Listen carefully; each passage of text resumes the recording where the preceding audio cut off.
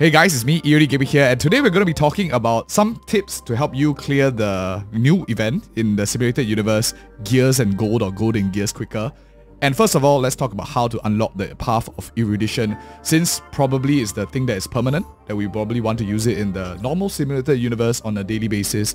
I'll be sharing with you some tips on uh, how to clear it faster as well. Personally, for me, I took about the whole day, which is more or less like 11 to 12 hours in total. But uh, tips that I have here for you, I think it will speed it up much quicker to help you clear much, much faster as well. Now, the first tip that I have, I know it's confusing with all these new dice customization, dice face index that you have over here. The first tip is to go into this gold and gears. Over here, you basically have all of these uh, at first blanked out, question mark and stuff like that. The TLDR of how to get the path of erudition is you have to clear the final chapter. But we kind of knew that already, right? I'll teach you how to actually clear it very efficiently. So the first thing that you want to do is go in your normal run, you'll clear the beginning very quickly, and then you will enter this mid section, which is going to take the bulk of your time. Now you're going to do this path, this tree together with something else to get two rewards simultaneously. And let me share with you what it is. If you go into this dice customization thing real quick, um, you see at first you start off with maybe just one dice, and then you have like different ones here and there. Uh, and this corresponds with this gameplay rewards here if you realize you have to use a certain dice to clear the simulated universe once and then thereafter each one has their own difficulty.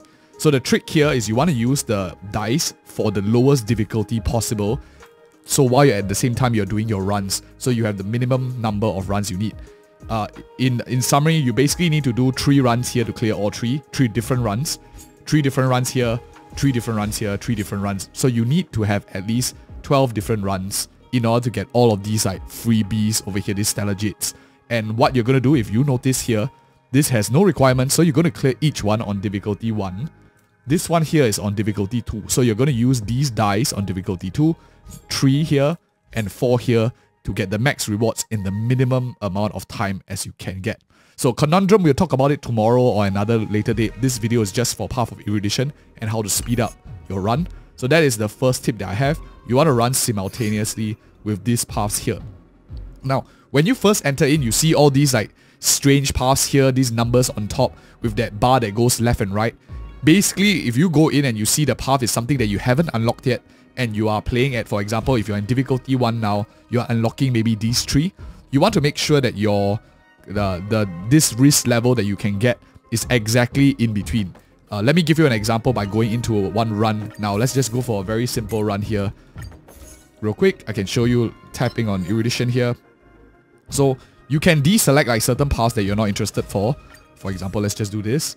And here's where you select your dice. So for example, I'm on difficulty 1. What I want to do is I want to select the least dice here. As you can see, I clear them all on best record 1. If you're on difficulty 1, clear each of these once each time. And then go on to 2. You see here I did like 2, 2, 2. And then 3, 3, 3, difficulty 3. And thereafter I cleared like these one 4, 4, 4. And then I took this one to 5 as well. Um, but we'll talk about that in a bit. So let me just show you one real quick. I'm just going in with this random one. I have tons of tips for you, including like better dice faces. Um, but let me explain a bit on this. So when you go into every single screen, when you first launch the game, it will show you the path that is being done. So far from my experience, they have always given me a new path that I haven't explored before. Uh, if it's if there's a new path available. But uh, if it doesn't, you can always just restart, exit it out, and go into it until you find a good one. This is unlike like the Swarm Disaster where it's completely random and you had kind of to know what is the terminology and stuff, like whether it's the Lepismat 1, Lepismat 2, 3, and all that stuff. This one, they spell it out for you real quick. So all these numbers at top, don't worry about it. Let me explain simply for you guys. So now we are entering the first phase here. And you can see they have this recommendation and you want to follow their recommendation because this will help you unlock exactly the story that you need. You need to unlock all the stories in the middle path in order to get Path of Erudition at the end. So you can get these stories by uh, entering this particular domain here. Let me just show you.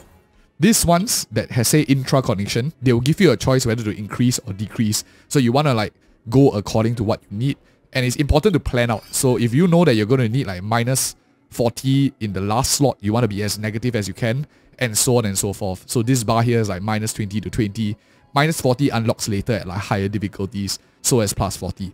So that's like the first overall arcing tip on understanding how to do this, uh, managing these bars. The next thing that I want to teach you about is what are the shortcuts because that's the most important thing, right? How do we speed up these these runs? I almost used a profanity right there because it took a lot of time. So how do you actually speed up your runs? Now let me get back to the screen. I'll share with you some die uh, tips that are super, super important for the faces as well. Let me just get out of here.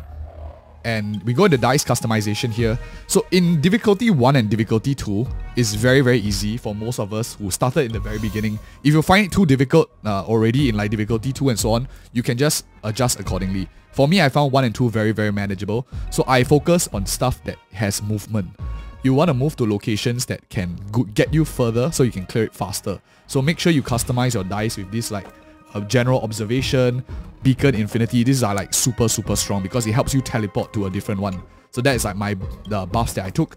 And this one here, similarly, I go for anything that has like movement, teleportation. That's like super good for me. That is in general. And for number two, same thing. I just go for anything that has some sort of teleport, as you can see observation is always in my kit in the earlier floors, so I can clear it much, much faster. For other like stages, that's when it gets a bit more difficult uh, once you hit the later game. But once you clear like stage 1 and stage 2, your neural network here, sorry, that's one's in a bit, your gold and gears here you will have mostly done like the middle section here. The only thing you probably would not have done is the some of them require you to clear at difficulty 3 and difficulty 4.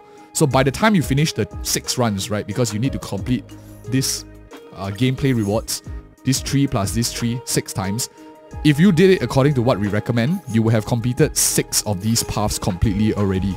So you have, let's say, one, two, three, four, five, six, meaning you only just need one, two runs, and then on the top, three, four runs. So you just need another four runs to complete the entire middle section and you need to clear like some in difficulty 3, some in difficulty 4. So same thing for your difficulty 3 and 4, make sure you go into your dice customization, go into this third section here for knowledge, clear everything on difficulty 3 as you can. Personally, my recommendation is to use a path that uh, like Nihility is very strong. Remembrance is also pretty good. For me, I used um, more, how, what did I use for this one? I think I mainly played with like a May team just for, for demonstration first. But I think Nihility out of all of them is definitely the best. It has offensive ability, it has defensive ability. But we'll talk about that uh, in a little bit too. So once you complete like 3, 4, all done, um, you will unlock this last part here, these Aeon secrets. And they unlock after a certain set number of periods. For example, like if you need to clear the second stage to unlock this, clear the third stage, you will do it while you are clearing your remaining difficulty 4, remaining difficulty 3 runs. So everything is very, very smooth. If you follow this sequential method that I'm teaching you how to do, you will eventually get like, all of them. And then the last chapter will appear, which is like another quest on its own that is outside of like difficulty 4, difficulty 5 to clear the last one. For me personally, I cleared difficulty 5 before my this one was unlocked because I was like super inefficient. I didn't know all these tips. But I think from how it sounds, you only need to clear difficulty 4 and once you get all of these stories, the final chapter will automatically unlock. So you don't exactly have to clear uh, this torturous difficulty. That is what I think. And of course, I just cleared it, so I haven't done all these conundrums. I wanted to make a video out for you guys first. Um, but yeah, that's how it's done. My team that I use, for any of you wondering, that I cleared the final one was a Nihility team composition. So I use like a Kafka, Himeko, Fu Xuan for sustain, and I use a Huo Huo. But you can of course use other characters based on your own team composition. Um, if you don't have so many 5 stars, my best tip for you if you're finding difficulty is always, once you, for example, feel that you can't clear difficulty 3, can't clear difficulty 4, what you can do here is unlock more of this uh, neural network. As you can see, I don't even have it fully unlocked, but we can already push very far. So if you're like a free-to-play player using like 4-star characters, you want to try to get as much of these buffs because they are all stacking on top of each other. So like for example, like you get additional 5 HP, get a little bit more attack, get a little bit more defense, or damage reduction, to it all adds up over time. So that is like so far the tips that I have. We talked about dice customization on how do you make sure you get it the fastest. We talked about the exploration. I think the last thing I want to talk about is like buffs when you're using the Path of Nihility because certain things are much easier to use and Path of Nihility is like super efficient. So for that, I need to go into this final part here, which is Simulated Universe. I think it's the database ability tree. Not this one, index. Blessings here. Path of Nihility. So I'm sure a lot of you might be familiar with this one already, but Nihility is very strong is because they are not only offensive, they are also defensive at the same time. Stuff that I always look out for for my Nihility runs is this one here, which is this one here is like super good. Call of the Wilderness is SS tier. This is really, really strong because you can stack up to 99 easily and then you get like max of 30% uh, attack reduction on an enemy. Super strong. This is always a must. It makes the fight a lot easier. And the other one is that heal one. Let me see where it is. There's a, when you proc a DOT, you heal a bit. And they're all very easy to find. Like uh, this one here. So wherever you proc, proc a DOT, you heal a bit, super good in sustain, helps you top your team up even more. And this one here before sunrise is also super OP because you help like regenerate all your energy of your whole team. So these two are like super critical. SS tier and they are all one stars. One star, two stars, very easily obtainable for Path of Nihility. Other than that, um, these are okay. Like the three stars ones are nice to have. They are not really a necessary thing, but you just want to get one that has apply suspicion this helps you build stacks quicker. And between like the three here that I focus on, I usually take the, where's that one? This one here to help it proc faster. This uh, Resonance Formation Outsider. And then I'll usually go for this one here, Suffering and Sunshine. This is the lowest priority, the Doubtful Fourfold Root.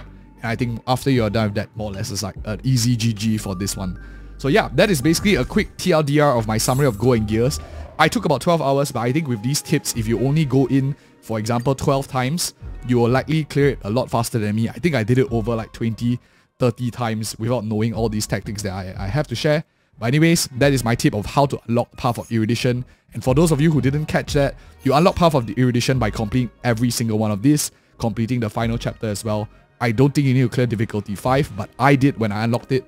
Uh, but in my opinion, you just need to clear all these and unlock the final story as well. This will come out a new uh, mode on its own. When you click like start exploring, it will only show you like just a story difficulty and none of these.